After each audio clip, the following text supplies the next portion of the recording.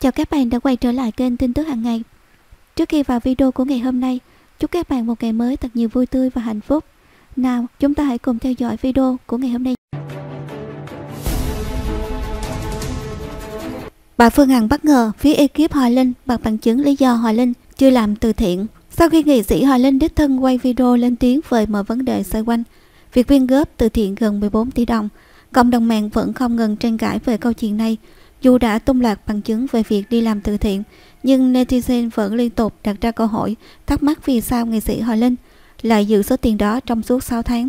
Cho đến mới đây, theo báo Tiền Phong, đại diện phía nghệ sĩ Hoài Linh đã công khai bệnh án về căn bệnh u áp tuyến giáp. Theo đó, ngày 22 tháng 9 năm 2020, nam nghệ sĩ được người thân đưa vào bệnh viện Đại học Y Dược Thành phố Hồ Chí Minh thăm khám sau khi phát hiện điều bất thường ở tuyến giáp. Đại diện nghệ sĩ Hoài Linh cho biết nam danh hài được chẩn đoán hạch cổ phải theo dõi thứ phát và phù nề phần mềm tại vị trí tuyến giáp. Ngày 24 tháng 9, các bác sĩ làm xét nghiệm và kết quả cho thấy hạch cổ nhóm 2 của Hà Linh bị di căn bằng hạch cổ trên 5 hạch, trong khi hạch cổ nhóm 6 di căn hai hạch trên hai hạch. Sau đó các bác sĩ bệnh viện Đại học Y Dược Thành phố Hồ Chí Minh yêu cầu theo dõi ung thư giáp thì phải di căn hạch cổ phải và chỉ định mổ các tổng bộ tuyến giáp. Ngày 15 tháng 10 năm 2020, danh hài Hoài Linh được phẫu thuật các tông bộ tuyến giáp, đồng thời nạo hạch cổ phải tuyến 23456.